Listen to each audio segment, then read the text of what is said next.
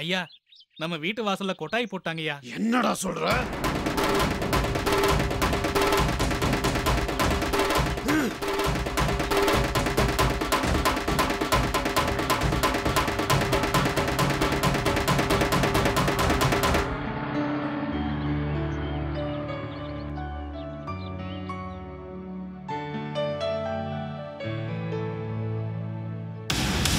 யார் வீட்ல? எல்லாரும் வெளிவாங்க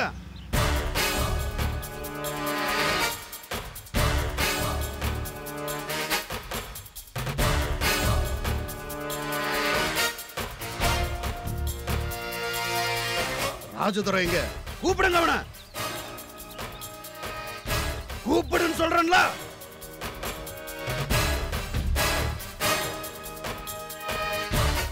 ராஜதுரை என்னடா நடக்குதுங்க?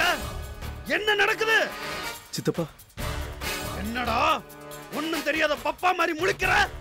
அன்னைக்கே இவளோட பெட்டியை தூக்கி வெளியே வீசி வீட்டை விட்டு விரட்டினேன்னு அப்படி இருந்தும் ஊரை விட்டு போகாம நம்ம வீட்டு முன்னாடியே இப்படி டேரா போட்டு படுத்திருக்காளே. என்னடா அர்த்தம்? எங்க இருந்து வந்தது இவளுக்கு இந்த தைரியம்?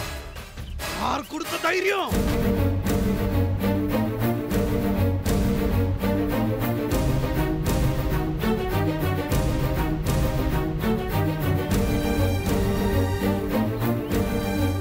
சித்தப்பா என்ன சித்தப்பா என்கிட்ட போய் கேக்குறீங்க? உன்னை கேட்காம வேற யார கேக்குறது? அவன் உன்னை கல்யாணம் பண்ணிக்கிட்டு இந்த வீட்டுக்கு மருமகளா வந்து வாழ போறதா வார்த்தைக்கு வார்த்தை சொல்றா?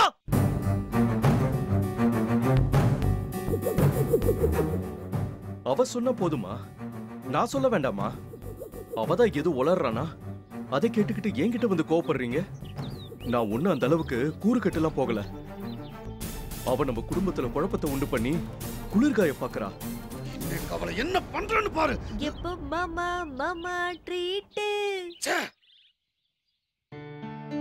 எப்போ மாமா மாமா ட்ரீட்டு என்ன மாமா மாமா ட்ரீட்டு சின்ன மாமா மாமா ட்ரீட்டு என்ன மாமா மாமா ட்ரீட்டு சின்ன மாமா மாமா ட்ரீட்டு என்ன மாமா ட்ரீட் எப்போ?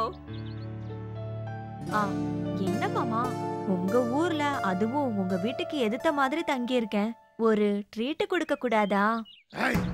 ட்ரீட் வைக்கணுமா உனக்கு? உன்னை ஹாஸ்பிட்டல் அட்மிட் பண்ணி ட்ரீட்மெண்ட் எடுக்க வைக்கிறேன்டி. அட எவ்வளவு சூப்பரா கவுண்டர் டைலாக் அடிக்கிறீங்க? சே நிறுத்தடி. என்ன தைரியம் இருந்தா இப்படி எங்க வீட்டு முன்னாடியே வந்து டென்ட் போட்டு தங்குவ? அட மீசக்கார குடும்பத்தோட ரத்தம் தானே என் உடம்புலயும் ஓடுது? இன்னொரு தடவை அப்படி சொன்ன உடம்புல ஒரு சொட்டு ரத்தம் இல்லாம பண்ணிடுவேன் நீங்க என்ன கொசுவா? உடம்புல இருக்க ரத்தத்தை எல்லாம் உறிஞ்சு எடுக்கிறதுக்கு? ஏய் குறவளைய நெரிச்சு கொன்னுடுவேன். ஏன் மாமா காட்டு மிராண்டி மாதிரி கத்துறீங்க? காட்டு மிராண்டி மாதிரி கத்தல. என்ன காட்டு மிராண்டி ஆக்கிறாதேன்னு கத்துறேன். முதல்ல ஒழுங்கா இடத்த காலி பண்ணு. இது எங்க இடம்? எங்க இடமா? நம்ம இடம்னு சொல்லுங்க மாமா. எது? நம்ம இடமா? ஆமா உங்க அப்பா எங்க அம்மாவுக்கும் தான் அப்பா. இந்த வீடு நிலம் மட்டும் இல்ல. வாய்க்கா வரப்பு தோப்பு ரைஸ் மில் ஆயில் மில் அப்புறம் பிசினஸ் அசையும் சொத்து அசையாத சொத்து இது எல்லாமே தாத்தாவோட தாத்தா காலத்துல இருந்து பரம்பரையா வந்தது. இப்படி பரம்பரை சொத்து ஆம்பளைங்களுக்கு மட்டும் இல்ல பொம்பளைங்களுக்கும் ரைட்ஸ் இருக்குன்னு சட்டமே சொல்லுது.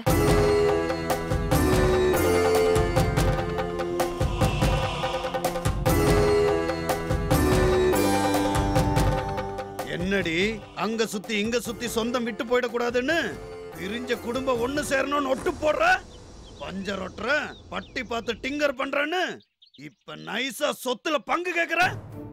இதெல்லாம் யாரடி உனக்கு சொல்லி கொடுத்தது? உன்னை பெத்த அந்த ஓடுகாலியா? இல்ல உங்க அக்கா துர்காவா? யாரும் இல்ல. நானே தான் சொல்றேன்.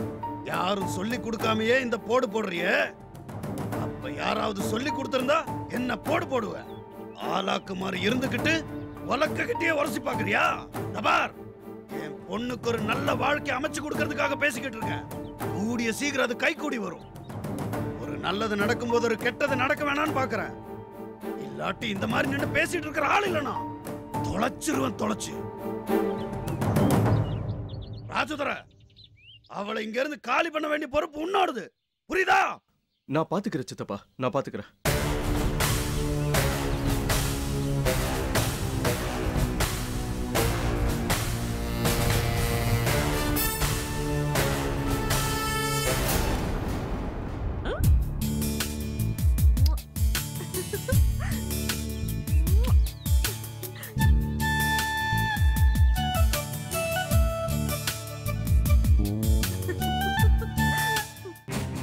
சொல்றீங்க பாலு?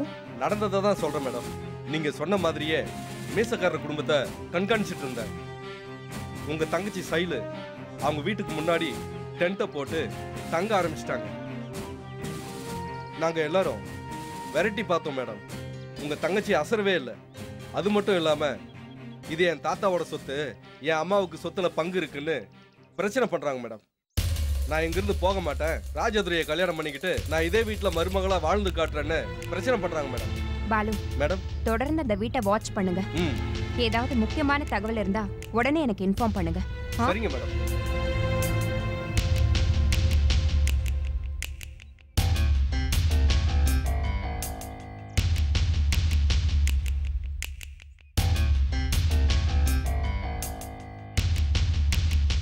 மேடம் ஏதாவது பிரச்சனைங்களா?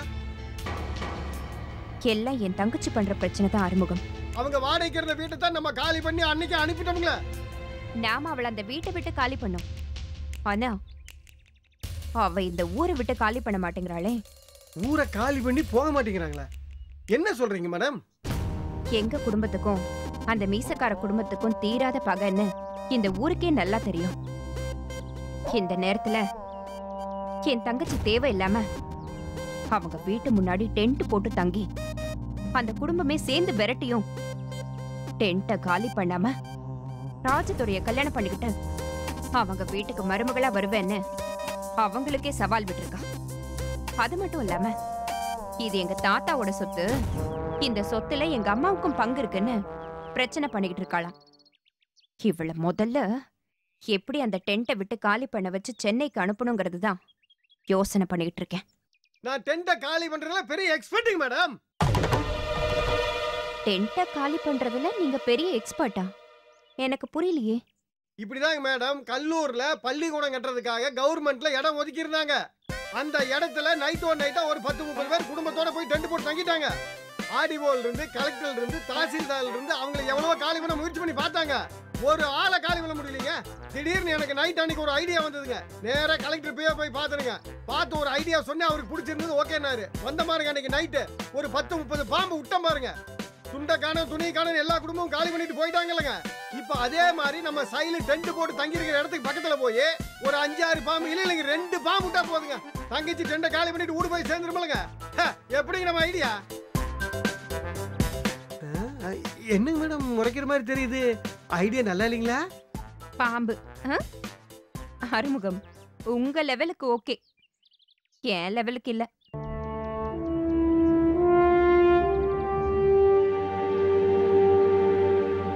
அவளை இந்த ஊரை விட்டு அனுப்புறது மட்டும் இல்லை. அவ மனசுல ராஜதுறையை கல்யாணம் பண்ணிக்கணும். அவங்க வீட்டுக்கு மருமகளா போகணுங்கிற ஆசையையும் உடச்சி எரிய போறேன்.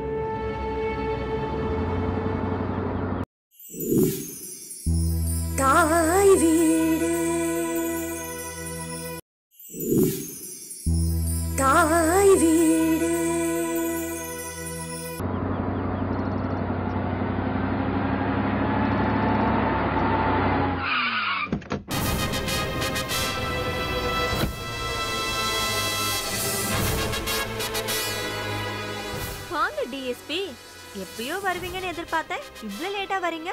ஆ வந்ததும் வந்துட்டீங்க. நான் சமைக்கிறேன். சாப்பிட்டு போறீங்களா?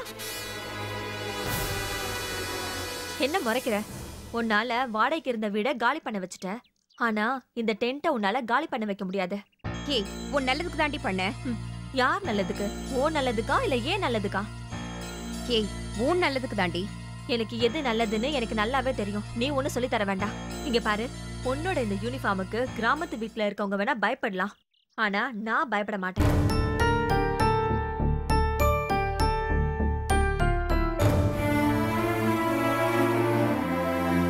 ஷைலு உன்னை பயப்பட சொல்லி நான் சொல்லல. நீ தைரியமாவே இரு. ஆனா இருக்க வேண்டிய விஷயங்கள்ல தைரியமா இரு. இந்த மாதிரி முட்டாள்தனமான விஷயங்கள்ல தைரியமா இருக்கிறது குருட்டு தைரியம். நீ எனக்காக எதையும் செய்ய வேண்டாம். ஆனா நம்ம அம்மாவை கொஞ்சம் நினைச்சு பாரு.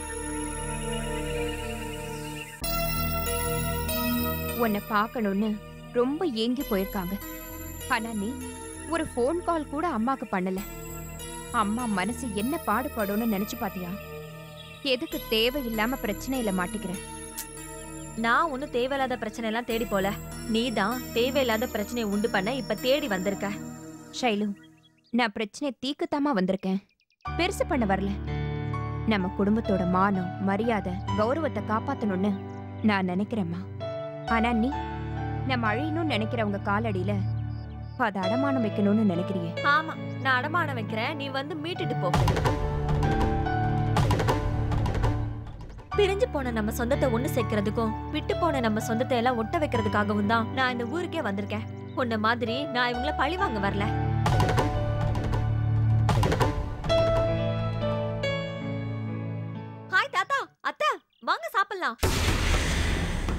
ஏய் யாரு தாத்தா? யார் அத்தை? அதோ அங்க நிக்கிறாரே. அவர் தாத்தா அவங்க அத்தை அதுக்கு பக்கத்துல நிக்கிறவங்க சின்ன அத்தை. இப்படி சொல்ல உனக்கு வெக்கமா இல்ல? இதுல வெக்கப்படுறதுக்கு என்ன இருக்கு? நம்ம அம்மா அப்பா தாத்தா அது மாமனோட பொண்டாட்டி அத்தை சின்ன மாமாவோட பொண்டாட்டி சின்ன அத்தை. ஷைலு தான் பிறந்த வீடு பிறந்த ஊரு சொந்தம் பந்தம் எதை பத்தியும் ஒரு வார்த்தை கூட சொல்லாம இத்தனை வருஷமா நம்மள வளர்த்து ஆளாக்குன அம்மாவை பிரிஞ்சு வந்து நம்ம அழையணும்னு நினைக்கிற இவங்களோட சேரணும்னு நினைக்கிறியே? இது உனக்கே நியாயமா? ஏய் என்னடி? அக்காவும் தங்கச்சியும் தாளிச்சு கொட்டுறீங்க? பாத்துங்கடி அடி பத்திக்க போகுது. ஏய் மரியாதையா பேசுங்க. உனக்கு மரியாதை கொடுக்கறதுக்கு இது ஒண்ணும் போலீஸ் ஸ்டேஷன் கிடையாது. நாங்கெல்லாம் உனக்கு சல்யூட் அடிக்கிறதுக்கு போலீஸ்காரங்களும் இல்ல. இது மீசக்காரங்க மண்ணு. மீசக்காரங்க மண்ணுங்கிறீங்க? உங்க ரெண்டு பேருக்கும் மீசையே இல்ல? ஏய் என்னடி நக்கலா? இல்ல கிண்டல். என்னடி அக்கா தங்கச்சி ரெண்டு பேரும் பேசி வச்சு நாடகம் ஆடுறீங்களா? நாடகமும் ஆடல நாட்டியமும் ஆடல. அப்படி ஆட வேண்டிய அவசியமும் இல்ல. அப்படின்னா அப்புறம் எதுக்கு அக்காவும் தங்கச்சியும் எங்க வீட்டு முன்னாடி வந்து கூத்து கட்டுறீங்க? தேவையா இது? உன்னால நானும் சேர்ந்து இதுங்க கிட்ட இப்படி ஒரு வார்த்தையை கேட்கணுமா? ஏய் என்னடி அதுங்க இதுங்கன்ற? அதுங்க இதுங்கங்காம வேற எப்படி சொல்றது? உங்களுக்கான உயர்ந்தபட்ச மரியாதையே இவ்வளவுதான். இதை விட இறங்கி வர என்னால முடியும். ஆனா வார்த்தை வர போறது என் வாயில இருந்து எனக்குன்னு ஒரு கௌரவம் இருக்கு. ஏண்டி அப்போ நாங்க என்ன மான மரியாதை இல்லாதவங்கங்கிறியா அது எனக்கு தெரியாது. இப்ப எதுக்கு தேவையில்லாம வந்து பிரச்சனை பண்ணிட்டு இருக்க? என்னடி அதெல்லாம் நாங்க கேட்க வேண்டியதை நீ கேக்குற நான் கேட்டா என்ன நீங்க கேட்டா என்ன? எல்லாம் ஒண்ணுதானே அத்தை? ஏய் என்னடி? பேச்சுக்கு பேச்சு ஏதோ அத்தை சொத்தங்கிற? அப்புறம் நடக்கிறதே வேற. ஏண்டி அசிங்கப்படுற? இந்த ஊரும் வேண்டாம் ஒரு மண்ணும் வேண்டாம்னு உதறிட்டு பேசாம சென்னைக்கு போற வழிய பாரு. அது இந்த ஜென்மத்துல நடக்காது. நடக்குதா நடக்கலையாங்கிறத நடத்தி காட்டுவேன். அப்ப பாரு கூடிய சீக்கிரம் உன்னை இந்த டென்ட்டை காலி பண்ணிட்டு ஓட வைக்கிறேன்டி. இனியும் இங்க நின்னு இவங்களோட சரிசமமா பேசிட்டு இருந்த அப்புறம் மத்தவங்களுக்கும் எனக்கும் வித்தியாசம் இல்லாம போயிடும்.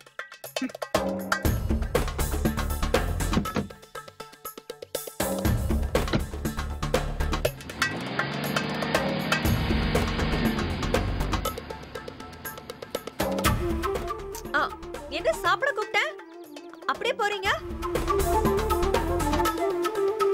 ஏய் மரியாதையா போயிடு. சரி. மருமக கையால சாப்பிட சின்ன அத்தைக்கும் பெரிய அத்தைக்கும் கொடுத்து வைக்கல. ஏய் ஏய்! அக்கா கொஞ்சம் சும்மா இருங்கக்கா. நீங்க எதுக்கு இப்ப கத்திட்டு இருக்கீங்க? இவ கடக்குறா. நீங்க வாங்க. நீ வாம்மா. நம்ம வீட்டில் நல்ல காரியம் நடந்து முடியிற வரைக்கும் நாம கொஞ்சம் பொறுமையாக தான் போகணும் அக்காவும் தங்கச்சியும் உண்மையிலேயே சண்டை போட்டுக்கிறாளுங்களா? இல்ல சண்டை போடுற மாதிரி நடிச்சு நம்மள முட்டாளாக்க பாக்குறாளுங்களா? அதாம்மா எனக்கும் புரியல.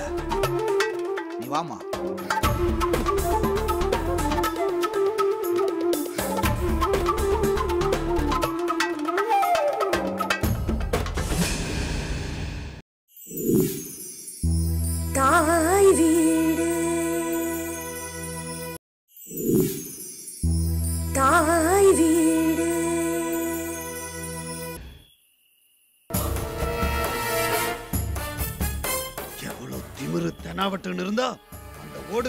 மீனாட்சியோட மகன் நம்ம வீட்டு முன்னாடியே டென்ட் போட்டு தங்கி இருப்பா எங்க இருந்து வந்தது இந்த தைரியம்?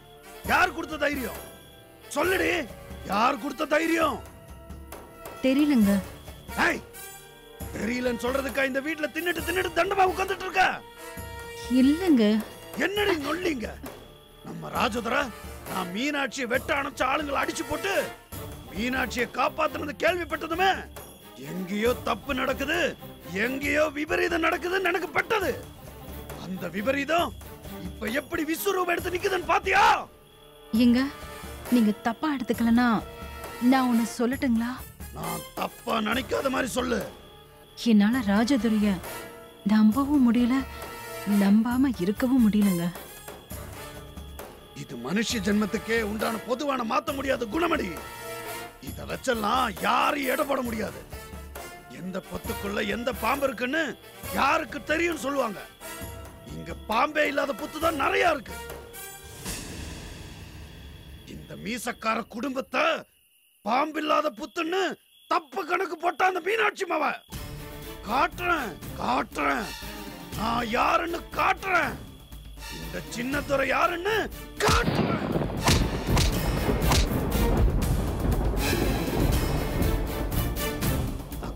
டிஎஸ்பியா நம்ம ஊருக்கு வந்து நம்ம குடும்பத்தை பல வழியில பழி வாங்க பார்த்தா முடியல. அவளால முடியாது. யாராலையும் முடியாது. இந்த மீசக்கார குடும்பத்தை பழி வாங்க யாராலையும் முடியாது.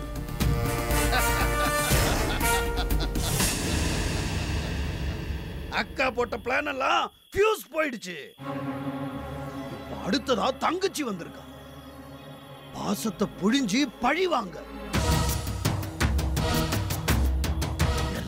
காதுல தான் பூ சுத்துவாங்க. ஆனா இவ என் மீசையிலேயே பூ சுத்த வந்திருக்கா.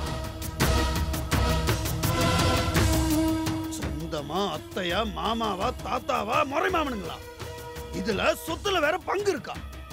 யாருக்கிட்ட கண்டம் துண்டமா வெட்டி கறி கறியாக்கி நாய் நறுக்கி போட்டுருவேன் இவ அக்கா டிஎஸ்பின்னா நாங்க பயந்துருவோமா? பாப்போம். யாரா இருந்தாலும் பாப்போம். தெரியாதவளுக்கு என்ன பத்தி தெரியாதவளுக்கு தெரிஞ்சுக்குவா. கூடிய சீக்கிரமா தெரிஞ்சுக்குவா. விரல் சொடுக்கிற நேரம் ஆகாது. அவளை வெட்டி கூறு போட. பாரு அவளை இந்த ஊரை விட்டு ஓட ஓட விரட்டனா இல்லையான்னு பாரு.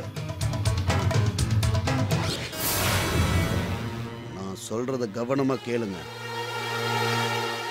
அந்த ஓடுகாலி மீனாட்சி மவ திமிரா தெனாவட்டா எங்க வீட்டு முன்னாடியே டெண்ட் போட்டு தங்கி எங்க கிட்டயே வேலை காட்டுறான். சொந்தம் கொண்டாடுறான். சொத்துல உரிமை இருக்குங்கிறான்.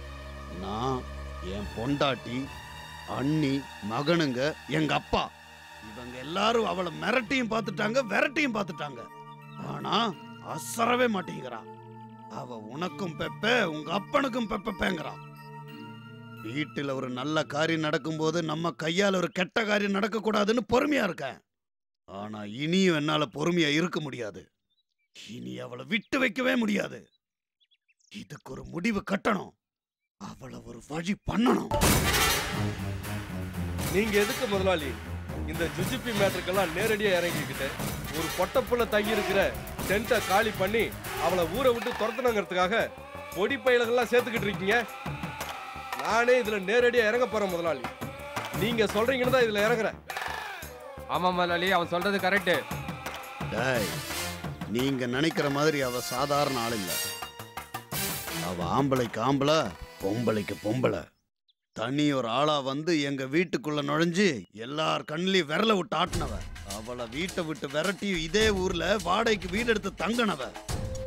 அந்த வாடகை வீட்டை காலி பண்ற நிலைமை வந்தும் கூட ஊரை விட்டு போகாம வீட்டை விட்டு விரட்டின மீசக்காரன் குடும்பம் வீட்டுக்கு எதிரிலேயே அதுவும் எங்க நிலத்திலேயே வந்து டென்ட் போட்டு தங்கிட்டு இந்த நிலம் மட்டும் இல்ல இன்னும் இருக்கிற எல்லா சொத்தும் பரம்பரை சொத்து அதுல எங்க அம்மாவுக்கும் பங்கு இருக்குன்னு சட்டம் பேசுறான்னா அவ எப்பேற்பட்ட தில்லாலங்கடியா இருப்பா சொல்லிட்டீங்கல்ல முதலாளி.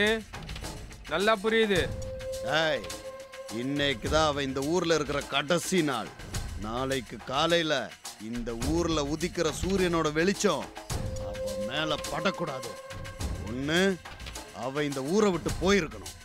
இல்ல அவ போனோம் இந்த ஊரை விட்டு போனோம் சொல்லிட்டீங்களா முதலாளி? நான் பாத்துக்கிறேன். நைட்டோட நைட்டு அவ டென்ட்டை கொளுத்திடுறேன். அதுக்கும் அவ அடங்கல. டென்ட்டோட அவளையும் சேர்த்து கொளுத்தி சாம்பலாக்கிடுறேன். முதல்ல அதை செய்யுங்கடா. சார் நீங்க மறுபடியும் மறுபடியும் தப்பு பண்ணிக்கிட்டே இருக்கீங்க. என்னய்யா சொல்ற? நீங்க ஆத்திரப்பட்டு அவளை கொளுத்த ஆள் அனுப்புறீங்களே? அவளை கொளுத்திட்டீங்கன்னா அதோட விளைவுகள் கடுமையா இருக்கும். என்ன மிரட்டுறியா? சார் நான் எதுக்கு சார் உங்களை மிரட்ட போறேன்? உங்க நல்லதுக்காக தான் சார் சொல்றேன். அவ மேல கைய வச்சா அவளோட அக்கா டிஎஸ்பி துர்கா சும்மா விடுவாளா? யோ அவ என்ன பெரிய கொம்பா? என்ன பூச்சாண்டி காட்டுறியா? நான் அந்த அர்த்தத்துல சொல்ல சார். அந்த பொண்ணு உங்க வீட்டுக்கு பொட்டி படுக்கையோட வந்தது. நீங்க வீட்டை விட்டு விரட்டினது. இப்ப அந்த பொண்ணு உங்க வீட்டு முன்னாடி டென்ட் போட்டு தங்கி இருக்கிறது நீங்க அவளை விரட்ட பாக்குறது அவ டென்ட்டை காலி பண்ண முடியாதுன்னு பிடிவாதம் பிடிக்கிறது. அவ அவங்க அம்மாவோட பரம்பரை சொத்துல பங்கு இருக்குன்னு சொல்றது. நீங்க இல்லைன்னு சொல்றது. அவ உங்ககிட்ட தகராறு பண்றது. சார் இது எல்லாமே இந்த ஊர் மக்களுக்கு தெரியும் சார். அவங்க அம்மாவுக்கு நல்லா தெரியும் சார் அவ அக்கா டிஎஸ்பி துர்காவுக்கும் நல்லா தெரியும். இந்த நிலைமையில அவ உயிருக்கு ஏதாவது ஆபத்துனா உங்க மேல மோட்டிவேஷன் ஸ்ட்ராங்கா இருக்கும் சார் அதனால தான் சார் சொல்றேன். சார் கோவப்படாம நான் சொல்ற மாதிரி கேளுங்க சார்